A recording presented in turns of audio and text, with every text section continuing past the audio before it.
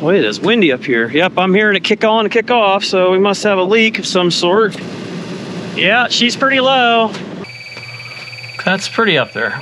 From what I'm seeing, and they just need a new evaporator. This thing is This video is brought to you in part by TruTech Tools, quality tools, essential support.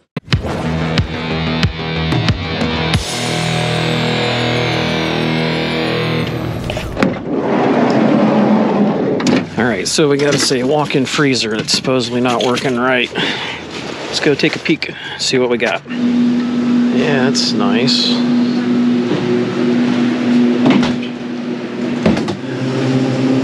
Master-Bilt. Looks like it's just reading 10. Let's see uh, what's going on. Supposedly it's 404A from what I'm seeing there. Let's uh, probably go up on the roof and see if we got a solid sight glass. I've not been to this location yet, but it's got the same sensors and all that, even though it's Master-Bilt. I don't, I'm assuming it's probably similar to a, a beacon system. Let's go up on the roof. We gotta figure out where that's at. So there it is. Boy, it is windy up here. Yep, I'm hearing it kick on and kick off, so we must have a leak of some sort. That ain't good. Short cycle, baby. Well, you can tell this is our freezer because it has the liquid injection there. Let's see if this one's the one that shuts down. It's probably getting down there. Here is the sight glass.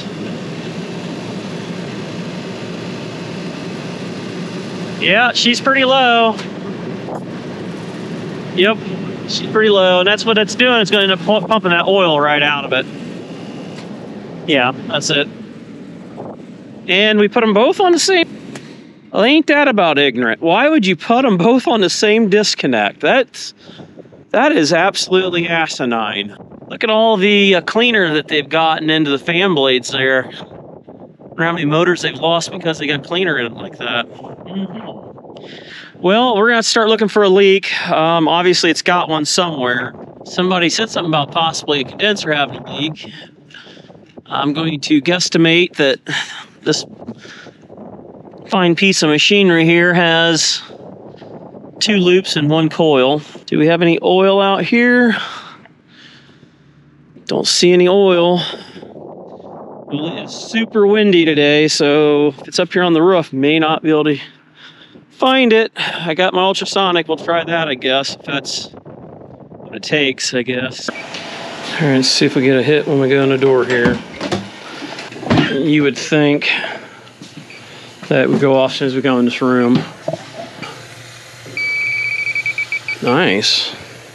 We'll kind of give this thing an old looky look and see what we can find here on it. It would be nice if it's down here in one of the fittings right on the end of the coil. But we'll scan it over and, oh god. Yeah, lucky there. That's not good, is it? Well, let's see what kind of parts per million it comes in, because that'll tell me whether it's just a itty bitty one or if it's a big one. Yeah, that ain't good. All right, you ready for this? Going right up there in that corner, which is gonna be closest to your TXV and all that.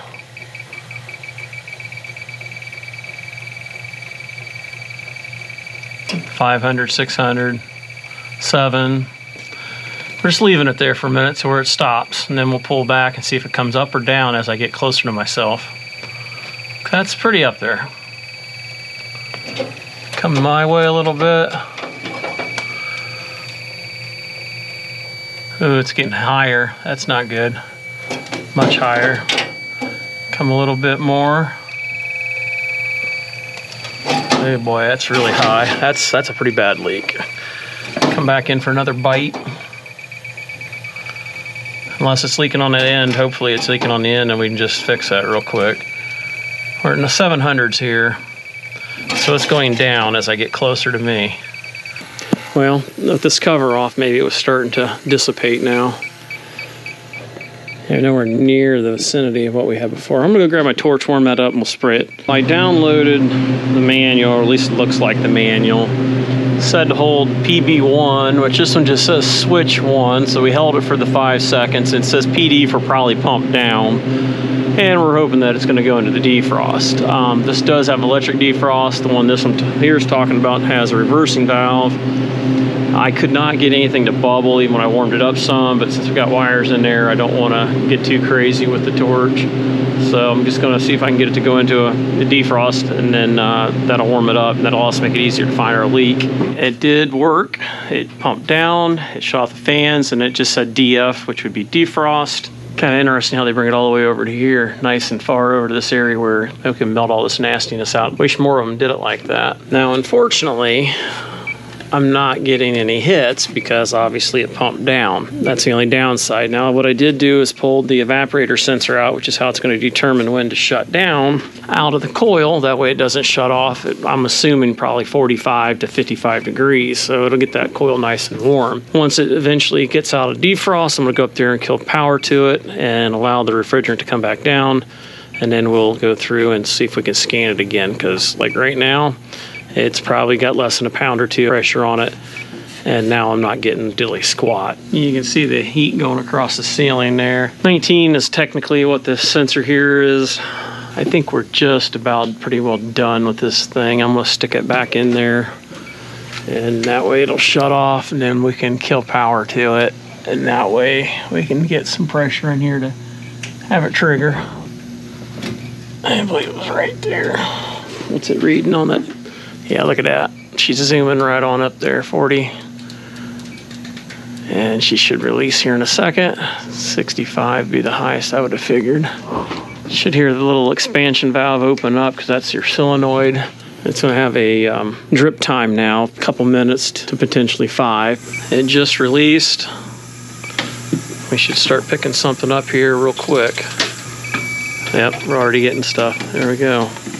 All right, let's go shut that off and then we might go spray it before it gets too cold. Turned it back on, went upstairs, listened to it flow, and I've sprayed it down. I might have seen a little something around one of the uh, metal to the elbow, but not to the extent that it should be as strong as what it is. I believe it's in the coil, and if it's in the coil, I'm not digging in there. From what I'm seeing, and they just need a new evaporator. This thing is pretty well I bet you this is the original one, and I think this store's been here for a long time. I've completely drenched this thing with soap.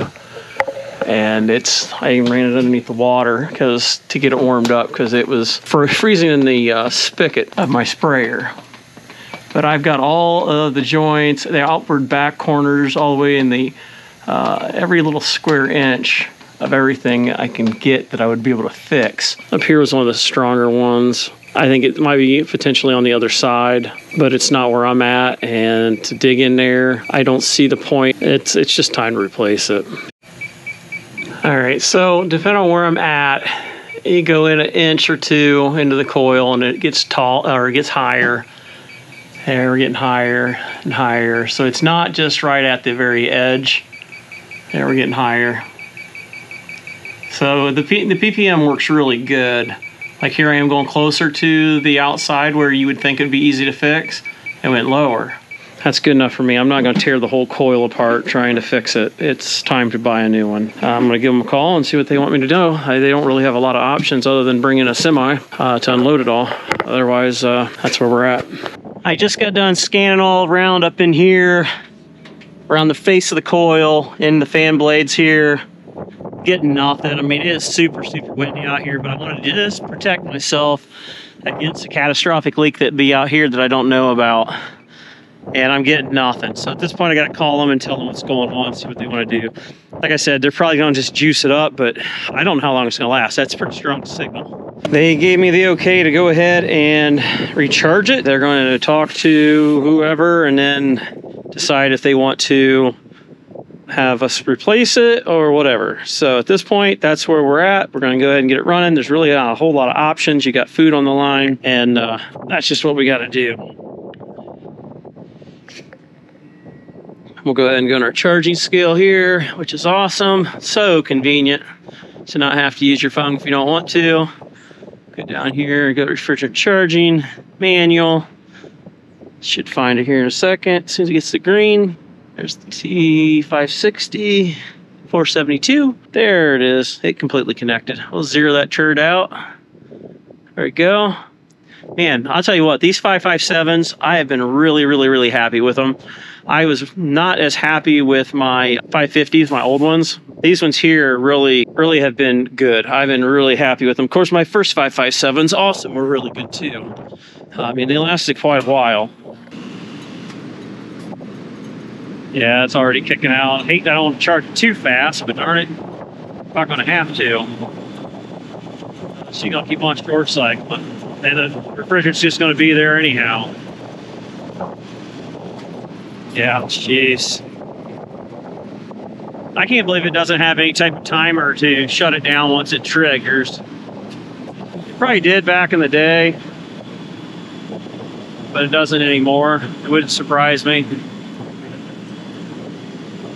Yeah, that sight glass is almost completely empty. There's a little something. I don't see a headmaster on this at all. That's kind of crazy. Well, they must be able to do that with electronic TXV, pretty much the same as the Bone Miser does. Starting to fill it pretty quick, actually. I'm pretty surprised. Granted, we're dumping it in awfully fast. I mean, that's way faster than I normally would do it, but I feel like what's the point of sitting there short cycling it over and over? I mean, there's definitely a lot of things this thing could use, and uh, I told him, I said the compressor is an 06 on it. Uh, that one there looks like that was changed in 09. I bet you the equipment is a lot older than that.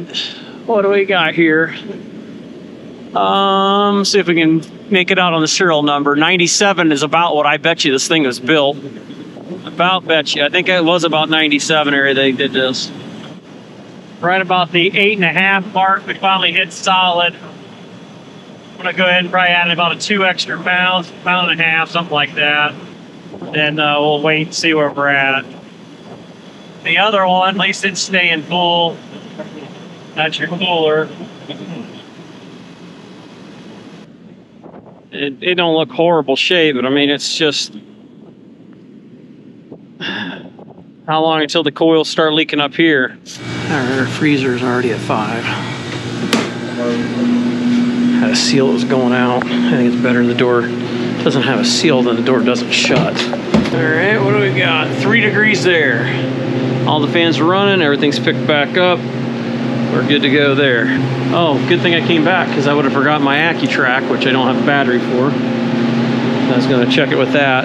Uh, that would have probably done good, but either way, it's it's done. You know, there's just nothing more you can do with it. I gave it uh, everything I got to try to make sure I verified what the leak was at, and uh, just not seeing uh, any way to fix it without completely destroying the coil.